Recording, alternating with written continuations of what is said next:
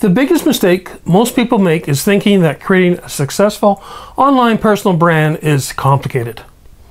Yeah, we get it. Everyone tells you that creating a personal brand is complicated, and they make it so easy to believe.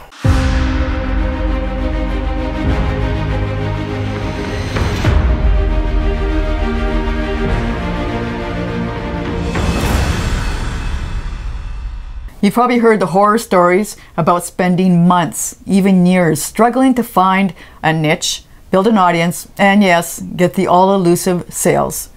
Maybe you've even dabbled at getting started and got so freaking overwhelmed you just quit.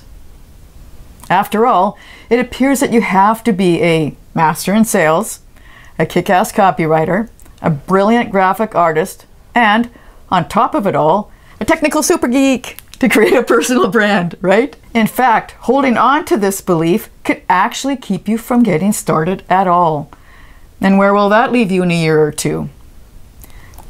You'll have wasted all that time just to be in the same situation you are now. In fact, you'll be farther behind because you could have grown your personal brand so much by then. So, what does it really take to create your own successful online personal brand? Well, you start by ditching the thought that you need to have the one size, all super funnel, and all the leading edge tools. It's all about keeping things simple. Basic effective principles that have been around for decades still work today when you use them in a way that connects with your audience. So, whether it's your branding, message, or marketing, your personal brand is all about connecting with the people you want to serve. Then you make things simpler by creating systems and outsourcing tasks so you can focus on stuff that grows your brand. After all, you have a vision for your business, and doing everything yourself is the slowest way to make it happen. And besides, you've already decided you don't want to be chained to your computer 24 7. You also understand that you don't need to invest in all the tools at the start. You get the ones that suit where your business is at right now, and then add on more as you need it along the way. And the cool thing is, you don't even need to figure out how they all work.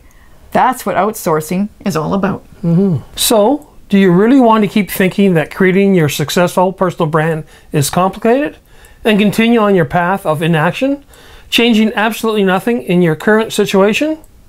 Or do you really want to apply simple principles with the help of systems and other people's talents to create a personal brand that connects with people you want to serve and make a positive impact on their lives and the world. Simpler by creating systems, outsourcing